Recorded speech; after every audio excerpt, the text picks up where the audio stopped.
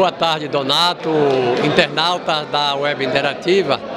A expectativa, o desejo e a ansiedade é trabalhar muito por esse município. O povo nos confiou o voto, eu estive ausente na última legislatura, mas agora, com o aval do povo, volto cada vez mais fortalecido para trabalhar cada vez mais em prol da população de Ponto Novo. A minha vida sempre foi assim, ligada ao trabalho, ao desenvolvimento e principalmente na área social.